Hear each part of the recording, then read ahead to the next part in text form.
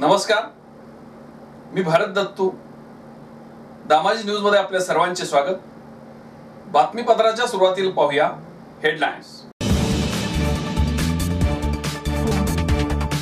विठ्ठलाचे पदस्पर्श दर्शन सुरू करा मंदिर समितीची शासनाकडे मागणी. हिजाब आणि काश्मीर फाईल्स या मुद्द्याचा राज्य सत्तेवर असणाऱ्यांनी प्रोपोगंडा केलाय. सुशील कुमार शिंदे. दारूच्या नशेत ट्रक खाली येऊन पादचाऱ्याचा मृत्यू?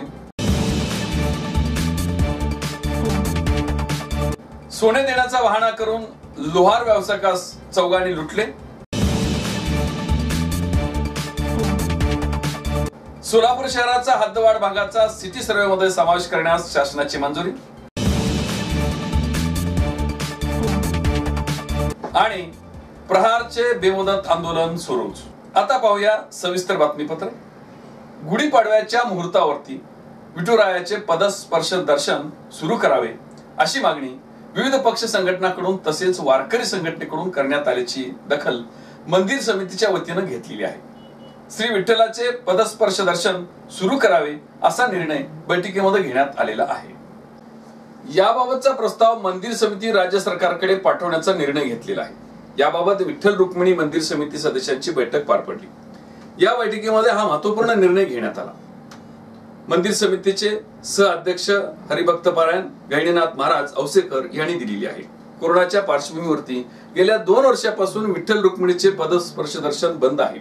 सध्या कोरोनाचा प्रादुर्भाव कमी झाल्याने पदस्पर्श दर्शन सुरू करावे अशी मागणी राजकीय पक्षाकडून तसेच वारकरी संघटनेची मंदिर समितीकडे केलेली होती. याबाबत पाडव्याच्या मुहूर्तावरती श्री विठ्ठलाचे पददर्शन सुरू करण्याच्या मागणीचा प्रस्ताव मुख्यमंत्री उद्धव ठाकरे उपमुख्यमंत्री अजित पवार यांना भेटून श्री विठ्ठलाचे पदस्पर्श दर्शन सुरू करावे असा निर्णय घेण्यात यावी अशी विनंती मंदिर समितीच्या वतीनं करण्यात येणार आहे.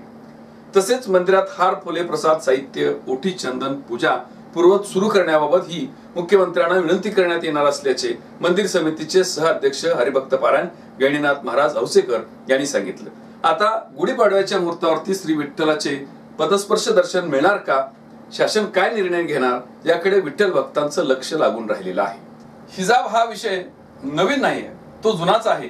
पण काश्मीर फाईल्स चित्रपटाच्या प्रचारादरम्यान हा मुद्दा पुढे का केला जातोय? काश्मीर फाईल पेक्षा गुजरात फाईल एकदा वाचून बघा. राज्य सत्तेवर असणाऱ्यांनी याचा प्रोपगंडा करावा याचा शोध त्यांनीच करावा असं विधान माजी केंद्रीय गृहमंत्री सुशील कुमार शिंदे यांनी सोलापुरामध्ये केलेला आहे. माजी केंद्रीय गृहमंत्री सुशील कुमार शिंदे सध्या सोलापूर दौऱ्यावरती आहेत. सध्या काश्मीर फाईल्स चित्रपटाची चर्चा होताना दिसत असून राजकीय वर्तुळातून याबद्दल संमिश्र प्रतिक्रिया येताना दिसत आहे याबद्दल बोलताना माजी केंद्रीय गृहमंत्री सुशील कुमार शिंदे यांनी सध्या देशात हिजाब काश्मीर फाईल्स गुजरात फाईल्स हे मुद्दे जास्त चर्चेले जात आहेत. पण काश्मीर फाईल्स चित्रपटाच्या प्रचारादरम्यानचा हा मुद्दा पुढे का केला जातोय? काश्मीर फाईल्स पेक्षाही गुजरात फाईल्स एकदा वाचून बघा असं वक्तव्य त्यांनी केलेलं आहे. दारूच्या नशेत तोल सावरता न आल्याने शेजारून जाणाऱ्या ट्रकच्या चाकाखाली येऊन सागर नागरनाथ रामगुडे वयवर्ष पस्तीस राहणार राहुल गल्ली बार्शी या युवकाचा मृत्यू झाल्याची घटना पोस्ट चौकातून शिवाजी आखाडाकडे जाणाऱ्या रस्त्यावरती घडलेली आहे. याबाबत पोलीस नाईक शिवाजी बळीराम कांबळे यांच्या फिर्यादीवरून शिहर पोलीस ठाण्यात गुन्हा दाखल झालेला आहे. मयत रामगुडे हा सकाळी दहा वाजताच्या दरम्यान दारूच्या नशेत पायी चालत शिवाजी आखाडाकडे एकरी मार्गावर निघाला होता. माल ट्रक क्रमांक ए पी सोळा टी डब्ल्यू चौऱ्याहत्तर शेहेचाळीस या ट्रकची उजवीकडील पाठीमागील बाजूची चाकाखाली पडून ट्रकचे टायर खाली सापडल्याने गंभीर जखमी होऊन उपचारास दाखल करण्यापूर्वीच तो मयत झाला. स्वतःच मृत्यूस कारणीभूत झाला असल्याचे निष्पन्न झाल्याने त्याच्या विरुद्ध भारतीय दंडविधान कलम तीनशे चार अ अन्वये गुन्हा दाखल करण्यात आलेला आहे. सोने देण्याचा बहाणा करून बोलावून घेऊन राकेश भीमराव लोहार राहणार हुपरी जिल्हा कोल्हापूर काळ्या रानात झाडाखाली बसलेल्या या व्यावसायिकास काठीने व लाथाबुक्याने मारहाण करून हाताच्या बोटातील व मनगटावरील चांदीचे कडे व रोख रक्कम बहात्तर हजार पाचशे रुपये किमतीचा ऐवज जबरीने लुटल्याच्या प्रकरणी बबल्या पपल्या शिंदे बबलू शिंदे व त्याची पत्नी तसेच अन्य दोन अनोळखी इसम यांच्याविरुद्ध गुन्हा दाखल झालेला आहे. पोलीस सूत्रांनी दिलेली माहिती अशी की यातील फिर्यादी राकेश लोहार हे कोल्हापूर जिल्ह्यातील असून ती दिनांक चोवीस रोजी दुपारी तीन वाजता कडक ऊन पडल्यामुळे मंगळ्या नजीक असणाऱ्या हॉटेल सुग्रन जवळ असलेल्या डाव्या बाजूस काळ्या शहरामध्ये झाडाखाली बसले होते. या दरम्यान वरील आरोपी येऊन सोने देण्याचा बहाणा करून बोलावून फिर्यादीस काठीने लाथाबुक्याने जबर मारहाण करून त्यांच्या केशातील व हातातील बोटातील मनगटावरील चांदीचे कडे रोख रक्कम बहात्तर हजार पाचशे रुपये किमतीचा मुद्देमाल जबरीने काढून घेतला असल्याची दिलेल्या फिर्यादीमध्ये म्हटलेलं आहे. दरम्यान फिर्यादी सोबत असलेले माणिक लक्ष्मण टोमणे यांनी ही मारहाण केल्याने दुखापत झालेली आहे. यांचा अधिक सहाय्यक तपास सहाय्यक पोलीस निरीक्षक सत्यजित आवटे हे करीत आहेत.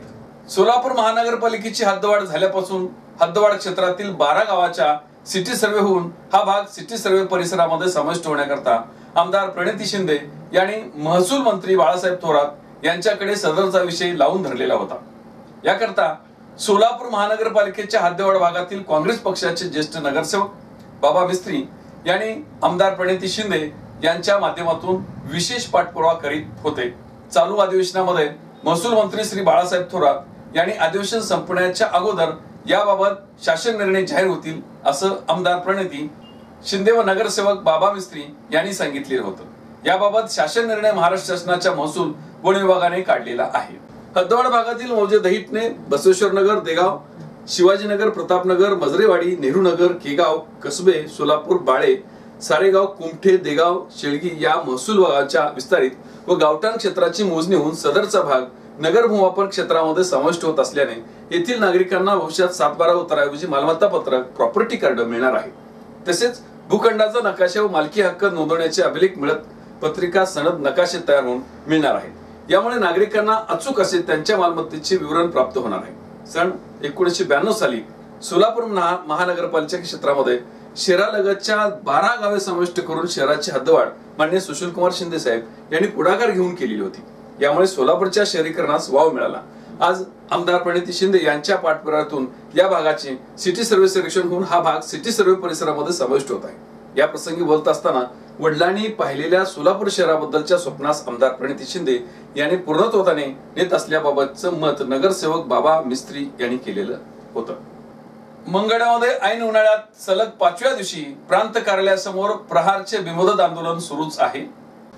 मंगळ तालुक्यातून जाणारा राष्ट्रीय महामार्ग क्रमांक एकशे सहासष्ट या मार्गामध्ये भूसंपादित झालेल्या बाधित शेतकऱ्यांना मोबदला मिळावा.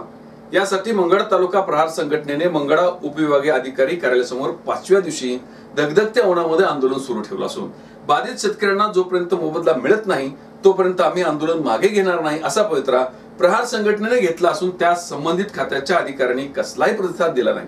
अशातच गेली पाच दिवस रणनत्या उन्हामध्ये जिल्हा अध्यक्ष सिद्धराया माळी हे त्यांच्या जागेवरून उठले नसल्याने त्यांची प्रकृती खालावल्याने त्यांच्या जीवितास बरे वाईट झाल्यास संबंधित अधिकारी जबाबदार राहतील असा आरोप राज्यमंत्री नामदार बच्चू कडू यांच्या मार्गदर्शनाखाली काम करत असलेल्या प्रहार संघटनेने केला आहे.